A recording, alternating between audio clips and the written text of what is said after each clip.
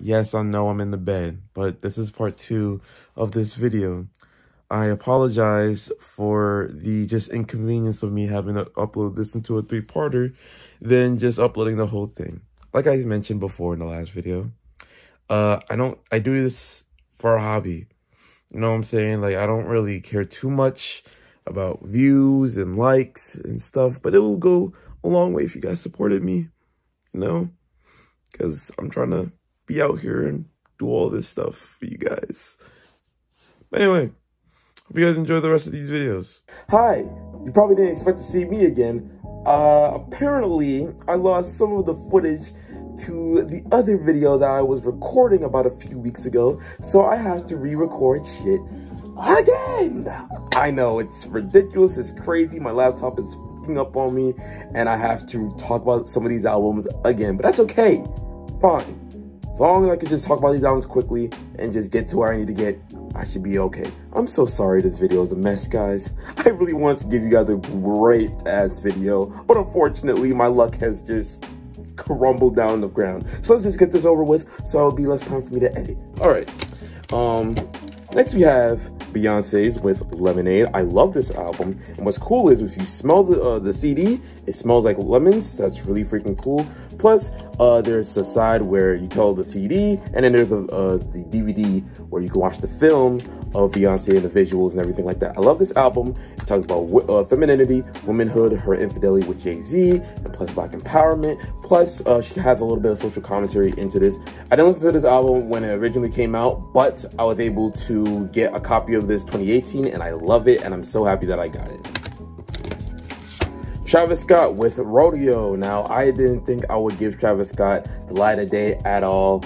And, you know, he is a fantastic producer. He's a protege of Kanye. The production on here is fantastic. So all these tracks on here are fantastic. And I got to give props to Travis Scott for making one of the best trap albums of the 2010s. So Denzel Curry with Taboo. Let it flow, let it flow, let it flow, let it flow, let it flow. By me. He's a fantastic uh, Florida rapper. Love this guy's energy. Love this guy's concepts. Love this guy's wordplay metaphors. He's such a talented artist. If you guys don't know about Denzel Curry, please get him reacquainted because he is doing a damn thing out here. You dig what I'm saying? Now, next thing we have is Tyler, the Creator with Wolf. I love this album a lot. It speaks to my creative teenage angst self, you know what I'm saying? I love the visuals on here, you know what I'm saying? Tyler, the creator. If you don't know who Tyler, the creator is, you probably are living under a rock. This is personally my favorite album of his because it kind of just speaks to my more awkward side of things than any of his other albums, even though they are critically his best, but these are just my personal favorites, so, you know. Next we have is Pusha T with Daytona. Y'all know if you know, you know. You know what I'm saying? 2018 was a crazy year for Pusha T with Drake and you know what I'm saying, with the beef and everything like that. This is a great album produced by Kanye. And I wish Kanye went on his producer back a little bit more with this. Um, but you know, you know, Kanye's doing his little thing with his gospel, you know what I'm saying? But Pusha T, great artist. Um, so I wish I knew him a little bit more uh, with, you know, Eclipse and got a little bit more affiliated. But this album really opened my eyes and ears into Pusha T's uh, discography. Next, we have another Travis Scott album, which is Road, I said Rodeo, which is Astroworld, which came out 2018. Uh, this was a really pretty good album, not as good as is uh, uh, Rodeo in my opinion, Birds was kind of shit, but this one's a return to form. And I, of course, I got the night cover, you know what I'm saying? If you went on his website, there's a lot of great tracks off of here, man. This is a good album from Travis. So props out to Travis for this. Next we have is Logic's with Young Sinatra 4. This is apparently an album, not a mixtape. This came out about a while ago, about 2018-ish. Um, I like this album. A lot of people kind of have their mixed uh, feelings about this album, but I like it. You know, this is kind of Logic return to form a little bit. You know, he's spitting his ass off, you know what I'm saying? This, this is a guilty pleasure for me. So if you guys don't like it, I like it. I had to cop it, you know what I'm saying? Some of the instrumentals here are freaking dope as fuck, especially the title track, so. Next we have is Open Mike Eagle with, um, where do you, well, uh, what happens when I try to relax? This is a great vintage, you know, underground artist from the underground artist himself. You dig what I'm saying? Just basically going down all the things that, well, he does when he tries to relax. He gets distracted and stuff, and he has a lot of great witty wordplay plus humor as well too to go along with it. It's a really good, good album. It's about, it's an EP actually. It's about six tracks. It'll last you about 20 or so minutes. This is a good listen. You should go and get it. Next is Earl Sweatshirt with some rap songs. The brevity on this is fantastic. I love how Earl captured everything he wanted to say within about 25 minutes, and every song on there is like a minute or third long, and I can't believe how it is, how uh, short it is.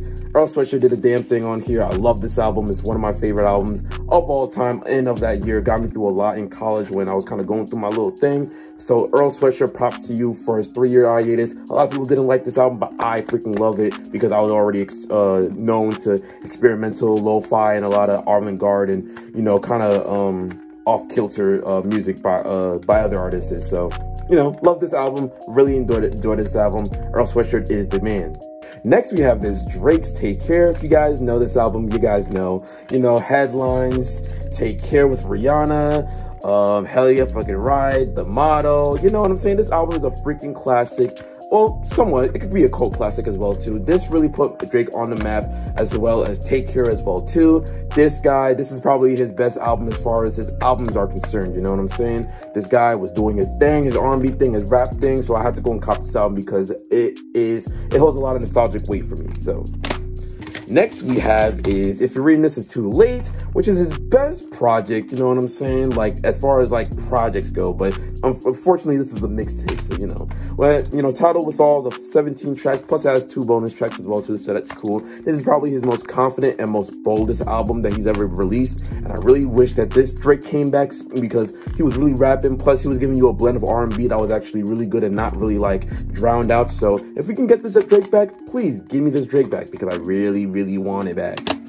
Next, we have is Lauryn Hill with The Miseducation of Lauryn Hill, which is her first and only last project. I don't know why she doesn't make another album, but that's okay to me. Miss Lauryn Hill is one of my favorite neo soul um, artists that came out around the 90s, early 2000s. I grew up listening to this album, so I had to go and get my um, own physical copy of this album because it just holds so much nostalgic weight for me with Ex-Factor and, you know, Doo Wop that thing. You know what I'm saying? If you guys know, I love this album and the best, you know, the little album cover talking about, you know, referring back to the album. It's a good album. Good album. Great album.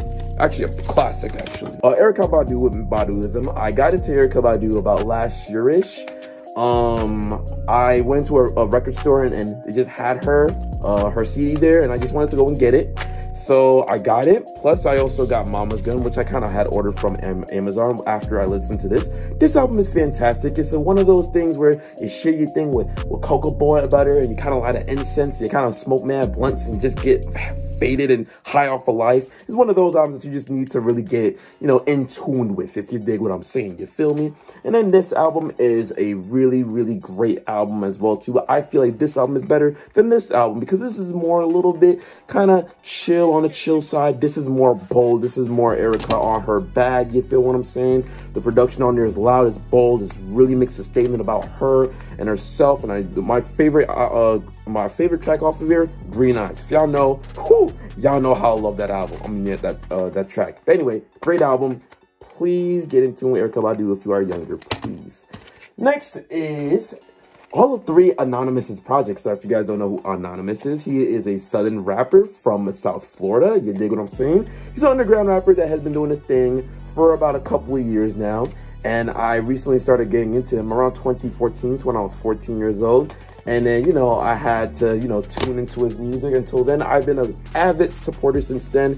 He is a fantastic artist. He's kind of like Denzel Curry in a way where he kind of had that aggressive, very like sharp wordplay. Plus the flows are insane. The instrumentals are insane. Plus he produces his own tracks as well too. You guys need to get in tune with Anonymous. You know what I'm saying? You guys will not regret any of his music. So yeah, this is Vice City, which is his first album. Really great album. uh, from him, and honestly, it was my favorite album of 2016. So y'all know he needs a part of GI Gaming Illuminati with TBH and you know uh, Ethos and everything like that. Plus, this is EP with Urameshi, which is a great EP. It also has Kuwabara Freestyle if you get the physical, so that's really awesome.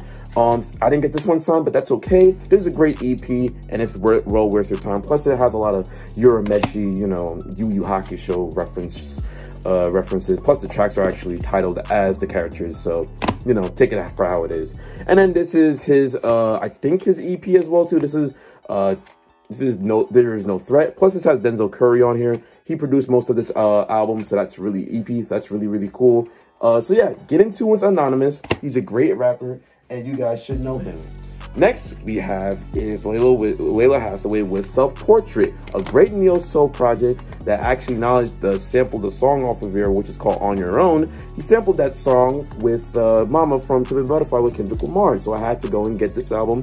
This album is actually surprisingly really, really good. You know, really well sung. Lalah did her thing with this album, and I really do appreciate her and what her producers were going to do, uh, doing on this album. So if you guys haven't listened to it already, it's a really nice, mellow, and relaxing R&B project.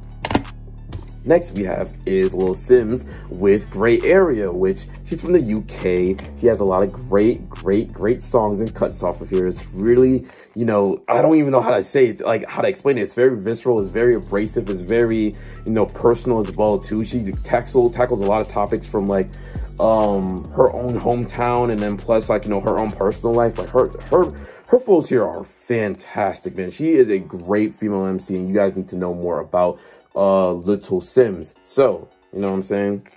Yes. Next we have is Anderson .Paak with Mal I said Malibu with um what is this album? Ventura has Andre 3000, Ro uh, Smokey Robinson, Lalah Hathaway, Jazmine Sullivan, uh, Brandy, and Nate Dogg on here. This is a great, fantastic art, uh, fantastic album from uh, Anderson .Paak. He's a jack of all trades. He all produces, you know, he sings, he raps, he's a little funk, he's a little bit of jazz. He's a, he's a lot jack of all trades. Please get into Anderson .Paak if you hasn't been already. Next we have is Michael Jackson's with Off the Wall. This is a off the wall project. this is I don't know why this is broken, but whatever. This is easily one of my favorite Michael Jackson projects by far. And you know, I, I just that's just no debate to that. Like that album, this album is fantastic. Like I love Michael Jackson in that era of music, near the Thriller and Bad and you know all those other albums. But this one gets my damn pants cranky. You feel me? Next we have is Ariana Grande with uh, oh this is upside down with Thank You Next. I'm not a big Ariana fan, but I love this project because she got really personal on here, talking about Nate Peterson and uh, Mac Miller, rest in peace and really getting a lot personal on this album. And I can really appreciate Sis for really getting her in her bag and really making some pop and great, uh, great pop tracks that really, you know, resonated with me. So thank you, Ariana Grande. Um, you make this this this, this one was a hitter.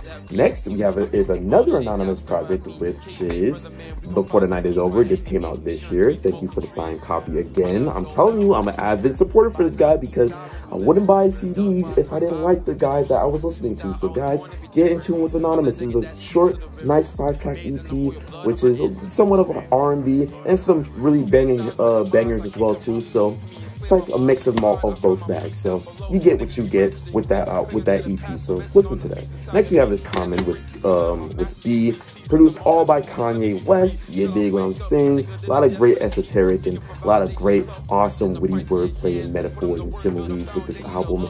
Common really got into his bag and the instrumentals that Kanye laced off with him. Fantastic dude. Like Common underrated, and I don't think people talk about him as a lyricist all that much. He gets into his bag a lot. Next we have is uh, the Black Messiah with uh, D'Angelo and the Vanguard. Uh, it's been like 14, 13 years since like, you know, this guy came out with an album since Vid uh, Voodoo. Goddamn, man. Dude, this is a fantastic album um, that has a lot of great hits, a lot of great moments.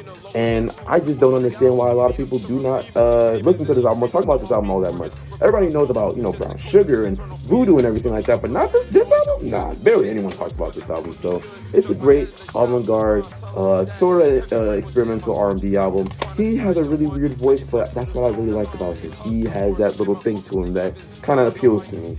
Next, we have The Weeknd with Trilogy that has all of his mixtapes, which is House of Balloons, Echoes of Silence, and Thursday. I did not just, I started listening to this album, I mean, this little collection this year during COVID, around the time of, since when COVID was about to hit the grounds. And I really love this. Uh, got me through a lot this year. Actually, um, it's actually my highest playing album, uh, highest playing album of this year. Weeknd's actually one of the uh, it's actually my number one uh, played artist of this year because this man got me through a lot of dark shit during COVID and shit. So I'm so happy that I got into this record. I bought this this year. I know it came out years ago, but I'm glad that I got into it now. And the last CD I have to talk about is Logic's with No Pressure, one of my favorite albums of this year. Really came back. You know, Under Pressure was my favorite, but No Pressure is the best. Plus, I love the album cover. Shout out to the man uh, Sam Spratt for always providing Logic with the dopest album covers ever. Man, my man's was spinning, getting to getting to his rapper bag, and then plus really like ending his career with a really good note. Now I haven't been a fan with a lot of his projects, but that one in particular was really, really good. I got some cassettes that I wanted to share with you guys, but they're really short.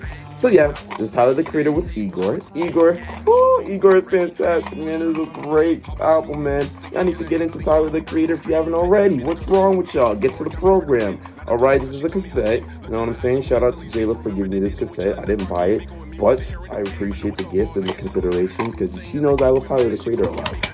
And this is live, which is L-I-V dot E. Um, couldn't wait to tell you, which is a great avant-garde R&B kind of smooth, chill jazz album. Um, you know, if you guys know about you know live, you gotta go and get to her. You know what I'm saying? She is fire. She's fine. That's all the albums. I got to that really quickly. Hopefully, there is no more technical difficulties after this, and you guys will get the final, you know, little thing by Tuesday. You know what I'm saying? I'm so sorry, guys. I wanted to make this video really special for you, but you know how it is this year has been terrible. Hope you guys enjoyed it, that. Um, so be on the lookout for the next part, and I'll see you guys then. Peace!